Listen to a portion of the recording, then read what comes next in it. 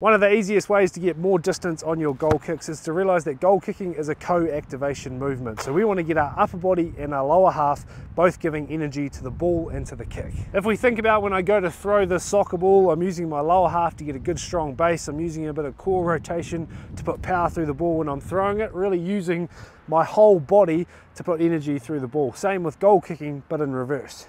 One cue that was a game changer for me at the back of my mark, I'd say stay slow, trust my timing. And what that meant is on every kick, it gave myself the best possibility to get a backswing. By backswing, I mean big rodeo arm, big extension through this glute, that then I could put energy through the ball, stay slow, trust my timing.